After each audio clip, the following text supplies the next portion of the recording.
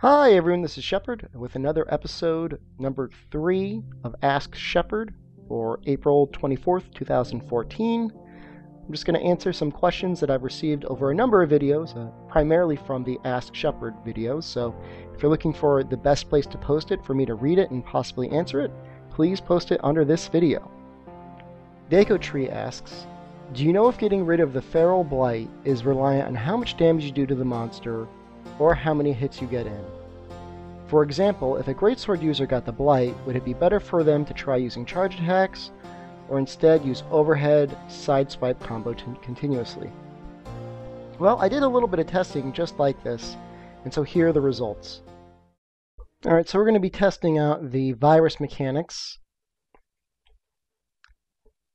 Namely, the question does it matter more on how much damage you do, or is it matter of how many hits you do?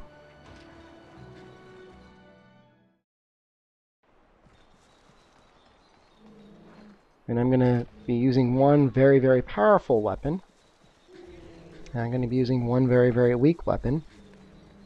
And we're just going to assume that through the number of hits, if one suddenly comes off a lot faster, then we'll know. If roughly the same, then we'll also know. Okay, so I've got virus.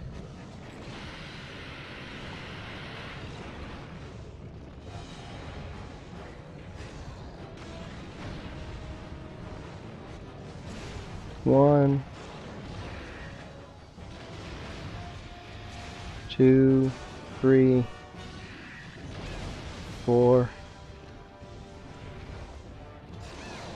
five,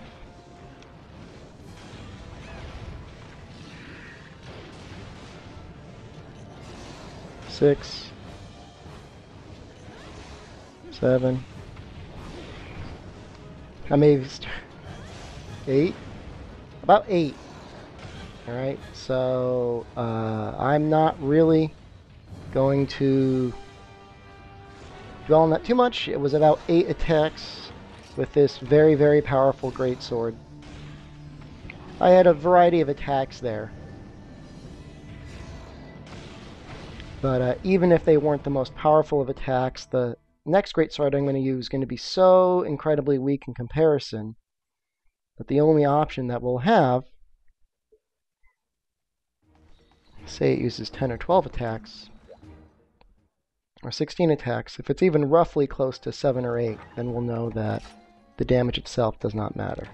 Okay, so here's a weapon that will do at least half as much damage.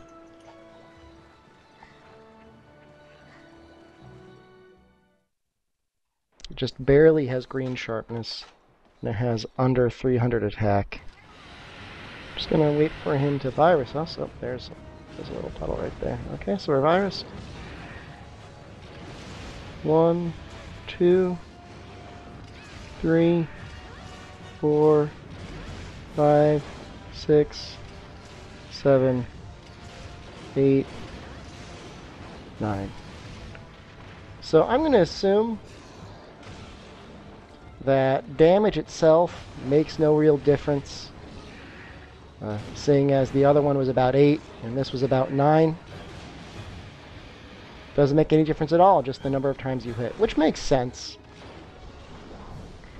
It would almost be too overpowered if you could just hit something with one really powerful great charge and get all of your virus taken away. Alright, so that solves that question.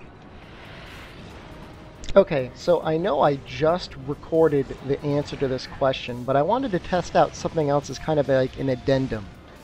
So what I found through this little test video that you're going to see right now is while it may not matter how much damage you're actually doing to the monster, what does matter is what's the base damage of the attack that you're using on them.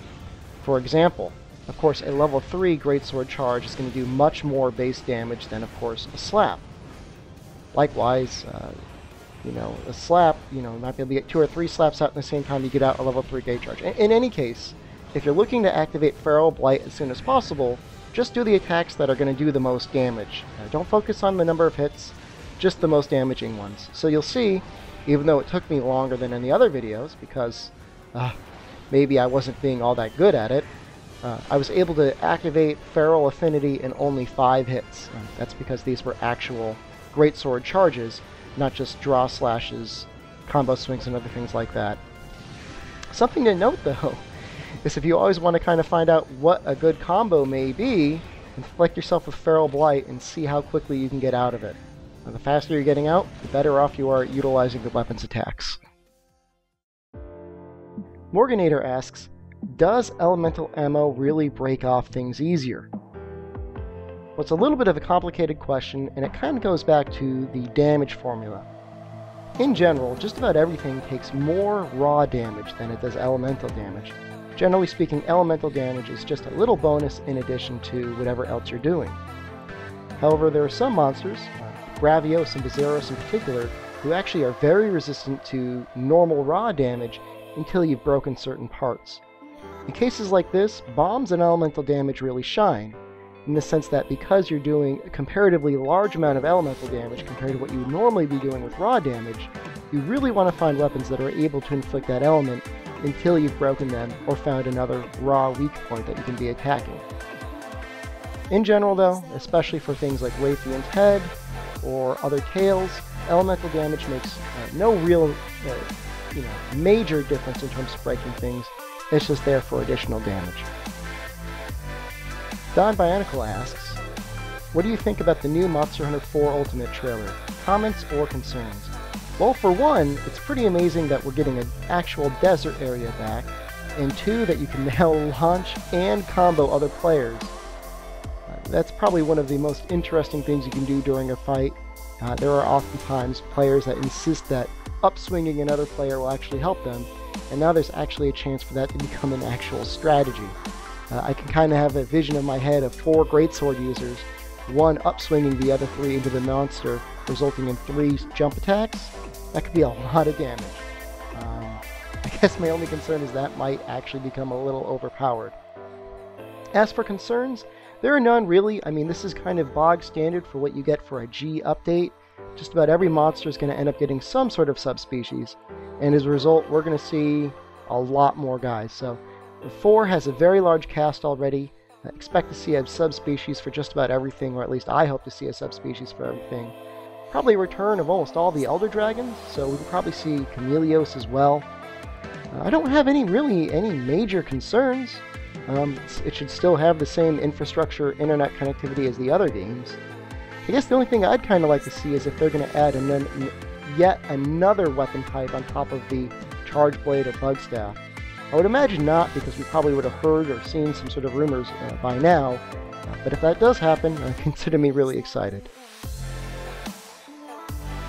Kono Ama asks, can you ride on a monster during its flight animation? This isn't really a complicated question, but it's kind of hard to answer in the sense that no, um, that's not really how the ride mechanic works. Uh, generally speaking, two things have to happen. Uh, one, you have to be hitting the monster with a jumping attack, and two, you have to be at some sort of angle where you're above the monster when you hit them. So certainly if you're using the bug staff and you're doing some sort of leaping attack, you, even with a flying monster, you can get above them. But the third and more important thing is that when the monster lands, you have to be close enough to them so that the ride animation will trigger. Um, you'll see sometimes during some of my fights and other videos on YouTube where it looks as if a ride is almost initiated, but it doesn't actually happen. The monster's are struggling on the ground. That's because the hunter was not close enough to the monster to actually initiate the ride itself.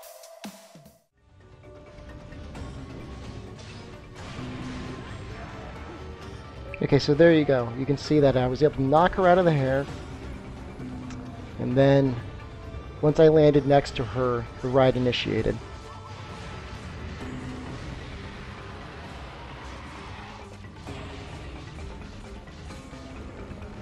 And then it's just business as normal. Ride. Destroy.